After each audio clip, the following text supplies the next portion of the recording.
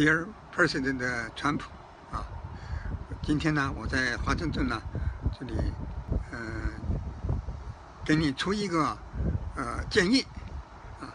你愿意听，就这个呢就可以连任，啊，就是如果因为现在呢，这个选情呢，呃，出现了越来越不利于啊特朗普这个竞选的一个。一个趋势，那么怎么样子才能够啊，这个破除这个两岸这个这个山东一水水府一屋路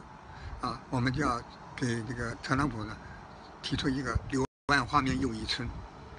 这个一村呢，就是反其道而行之，success on the other side，就是说我们之所以这么讲呢，就是要。出这个要考虑大局，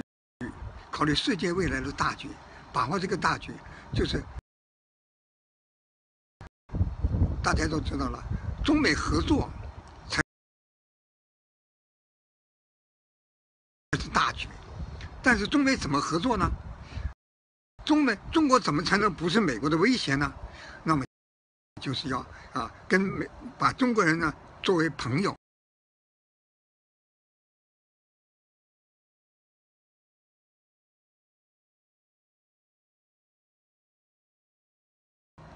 啊，化化敌为友，这个是一个聪明的办法。嗯，那么我们就怎么化敌为友呢？就是帮助中国解决一个世纪大难题。中国呢，在这个呃中中华人民共和国啊这个。建国的时候呢，犯了一个历史的错误，啊，这个毛泽东、邓小平，啊，和这个胡锦涛以及习近平都没有意识到谁是联合国宪章的啊中国的国家主体，那么就是我们就告诉。大家，中华民国是啊，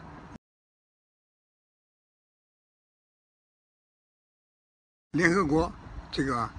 这个宪章上代表中国的国家主体。国家主体呢，联合国二七五八经过联合国二七五八号决议呢，废除了就原来蒋介石的代表能够代表中华民国。这么一个历史的一个一个一个错误，也就是说，从一九七一年中共就是二七五八号决议生效，那么所有的一一切的蒋介石代表中华民国的那些文件啊，这个这个这个文。件也好，呃，这个代表代表上签的合同全部失效，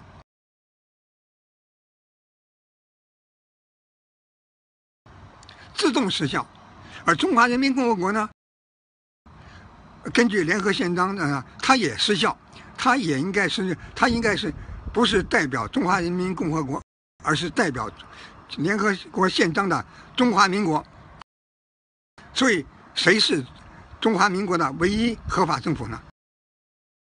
就是中华人民共和国政府是代表中华民国的唯一联唯一合法政府。这个问题呢，困扰了两岸的中国人啊，这一叶障目啊，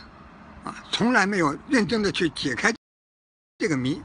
解解这解铃还需系铃人呐。这个这个这个谜是谁给系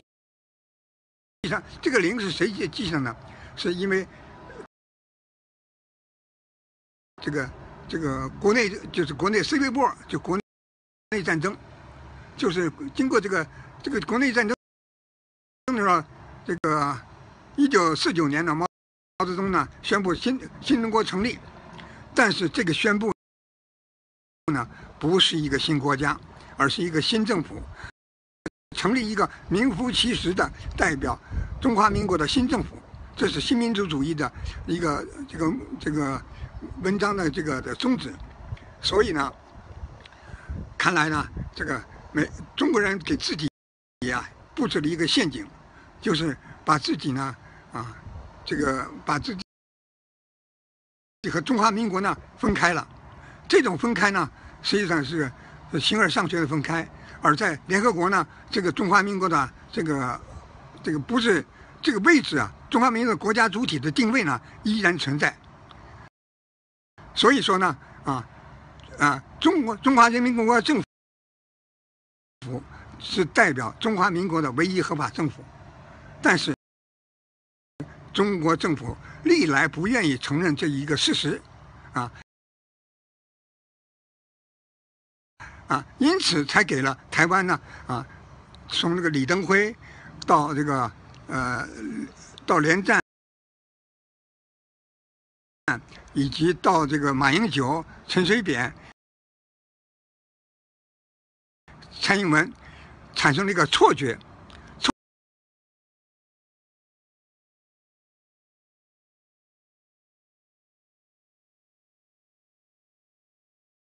间呢，就是中华民国台湾是一个国家，这个是违反啊这个联合国二七五八号决议的，因为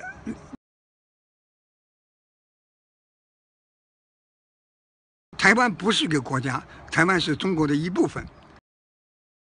啊，是中华民国的一部分，也按照中华人民共和国宪法，啊，一九一一年孙中山领导。搞的辛亥革命推翻了满清的啊这个政府，废除了封建帝制，创立了中华民国。但是他的反帝反封建的历史任务没有完成，没有说废除了中华民国，而后来紧接着下面一个带着乌龙的啊，就是混混淆不清的，就是从一九四九年一九四九年十月一日毛泽东领导的新会。新民主主义革命啊，成立了中华人民共和国。这个中华人民共和国的定位，不是是一个新国家，而是中华民国的延续。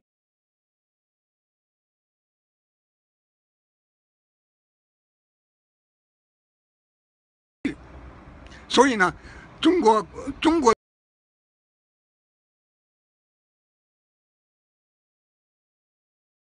的这个领导人啊，从毛泽东啊，这个邓小平啊啊，以及江泽民啊，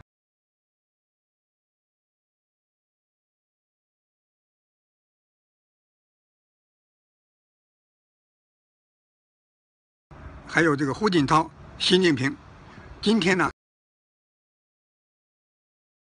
都犯了一个历史的错误，形而上学的错误。我们在这个历史的过程当中啊，形而上学的错误犯的太多了啊。所以说呢，我呢今天就给哎，他解解铃还须